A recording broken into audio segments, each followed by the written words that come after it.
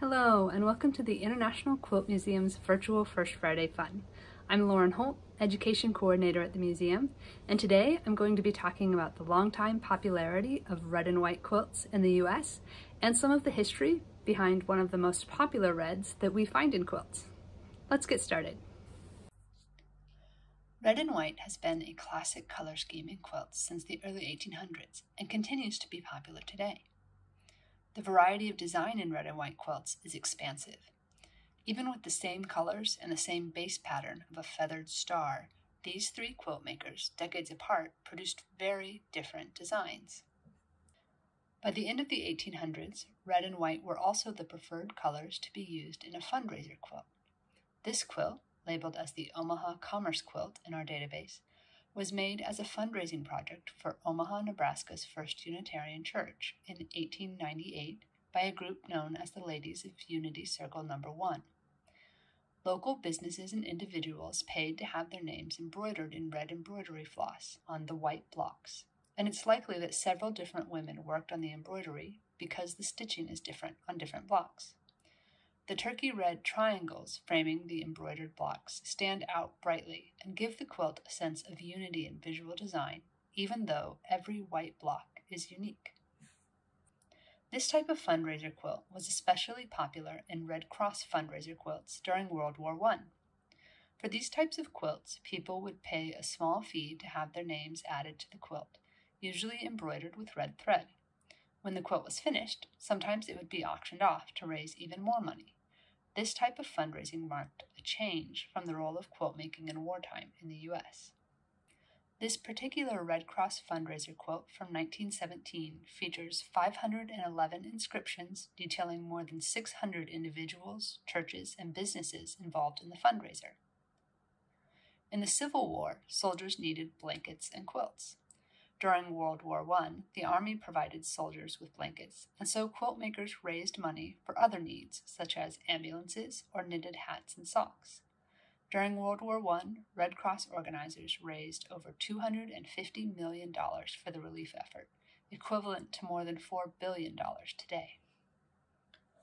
While the bright contrast of red on white is appealing to many for its vividness and energy, there are other reasons why red became so popular bright red cotton fabrics produced through a particular dye process called turkey red in Western Europe and the US were both color fast and fade resistant, meaning that they would stand up to repeated washing without bleeding onto other fabrics and be less likely to fade under sunlight.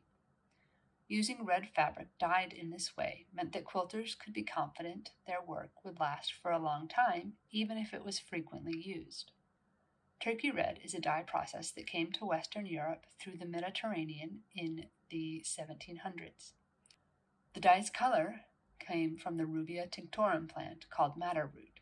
At the time, most dyes on cotton would bleed and fade, and so the turkey red process and the fabric it produced became very valuable. This red cotton cloth was also expensive for people to buy because the process took at least three weeks to complete involving many complex steps and ingredients, and it had to be watched almost constantly, and so many workers had to be employed. In Europe, textile mills in France and Holland were the first to begin using the turkey red process locally. They kept the details of how it was done secret, and British textile mills did not begin producing turkey red cloth until the 1780s. American textile mills never adopted the process, so all turkey red cotton in the U.S. was imported at the time, further increasing the price. You may have noticed that many of the quilts I've presented here are composed of solid red fabric, not prints.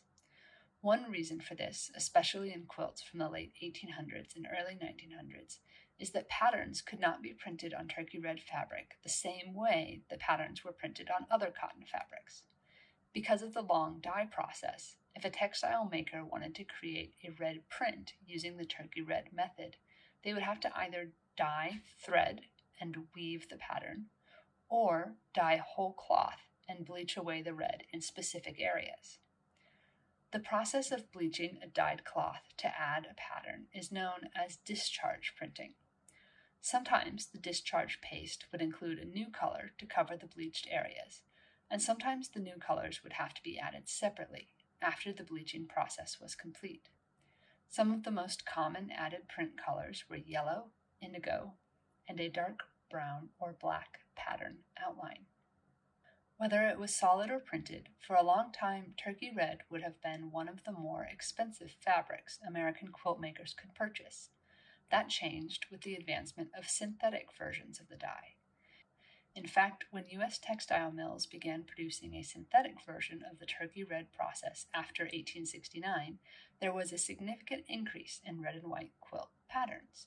Still, even fabric produced with the synthetic version of the dye was more expensive than most other colors, barring indigo, which was also color fast. Further scientific advancements led to a new synthetic version of the red alizarin dye in the early 1900s, even cheaper than the previous method. This made the cloth even more accessible, and there was a new surge in the popularity of red and white quilts. Not every new synthetic dye was color fast. This quilt, a fundraiser quilt made in 1918, may have been made with red cloth from two different sources. The three tan blocks at the top of the quilt might have once been red, but faded over time.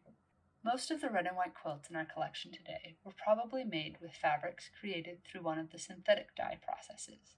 The original turkey red process was so difficult and expensive that most mills switched to the synthetic version, but the appeal of a bright, vibrant red cloth that wouldn't bleed color onto other fabrics has remained popular for more than 200 years, and the versatility of two color designs is something quilt makers continue to pursue today. Today's challenge is to make your own red and white quilt design. For this, you will need a white paper base, red paper, glue, and scissors. Sketch paper, a pencil, cardstock, and a ruler are optional for if you want to create templates like a quilt maker would. You could also draw your design in red, but piecing the paper design together will be closer to how quilt makers design their work. Step 1. Prepare your materials. Step 2. Decide whether you will plan your design in advance or work improvisationally. Traditional quilts would have been carefully planned in advance, but many modern quilt makers create quilts that are designed as they work, feeling their way through to a result that they like. If you are planning your design in advance, now's the time to sketch it out and create any templates you might need. Templates might take the shape of squares, triangles, rhombi, hearts, stars, or any other shape you want to include. Step 3. Cut out your red shapes and arrange your design. Use your templates or cut any shape you like as you go.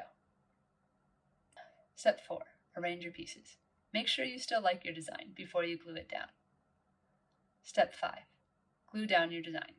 Glue stick is useful for this stage because it's easier to move a piece if you mess up somewhat similar to how pinning a design into a block can help a quilt maker see everything in place before sewing.